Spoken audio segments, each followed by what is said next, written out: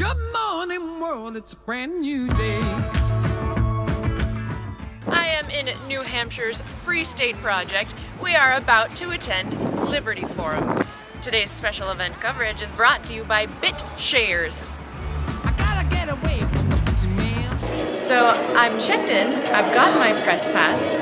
There will be speeches, there will be vendors, and there will be plenty of attendees. So let's get started, shall we? First, we saw a presentation by MaidSafe, a software project to decentralize the internet that's been 10 years in the works. Representative Paige Peterson told us to expect MaidSafe's first minimum viable product release at the end of this month. Next was LBRY, an early stage blockchain and currency project with a focus on the hosting and distribution of decentralized content, like a streaming BitTorrent with LBRY tokens as incentives. Then we spoke with a project called Ubiquity, whose director Christian Saucier is marketing colored coins on Bitcoin's blockchain to organizations that register property titles. And you may remember Arcade City, the recently launched ride sharing mobile app by former Uber driver Christopher David. Arcade City allows drivers and riders to decide payment details between themselves, and that allows for cryptocurrency. Aside from presentations by software teams, Liberty Forum attendees were most excited to see a live Q&A session with Edward Snowden himself. Hundreds of viewers donned Ed Snowden masks and cheered heartily as the whistleblower eschewed national politics in favor of individual empowerment through technology. Global celebrities aside, the Daily Decrypt wanted to get a sense of how free staters use cryptocurrency in their day to day lives. And do forgive our subtitles, we accidentally dropped our audio recorder in a toilet toward the end of Liberty Forum. Have you ever used Bitcoin in New Hampshire? Yes. What did you use it on? Um, food, small merchandise and stuff. You've sold things at PorcFest for Bitcoin, haven't you? Yes. What were you selling? Uh, t-shirts and pins. T shirts and pens, and how, how were your sales? Really good. I think I bought some cut block things too with Bitcoin. How have you used cryptocurrency in New Hampshire?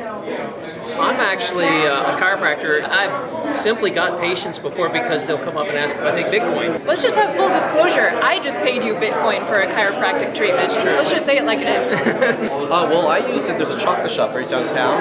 You can buy some great chocolate. I gotta show you this place if you haven't seen it yet. I have a real estate business. Uh, I, I buy real estate. That's what my husband and I do. and uh, would you accept Bitcoin if you were to sell real estate? Absolutely. Getting so tired of the company. I use it almost every day. What have you used it on? I use it on beer. I use it in the community market program. I use it uh, online personally. If you wanna get happy, then I arrived here about a year ago, and within three days, I had found someone who was willing to sell me a car for Bitcoin. busy man's fault.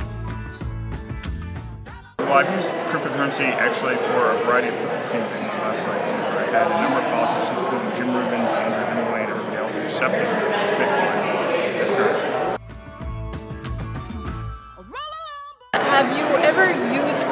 Cryptocurrency in New Hampshire? Oh yes, I use it all the time on a frequent basis.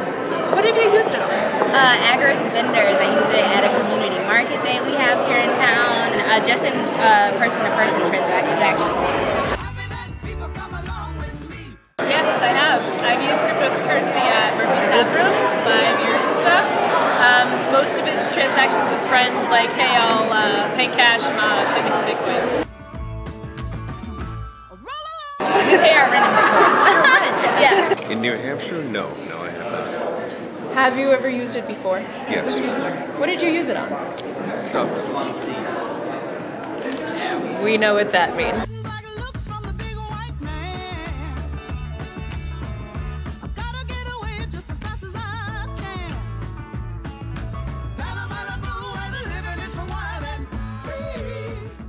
Liberty Forum 2016 wrapped up with an Oscar style award ceremony for Free State Project participants, which was followed by a DJ'd dance party. And that has been Liberty Forum 2016.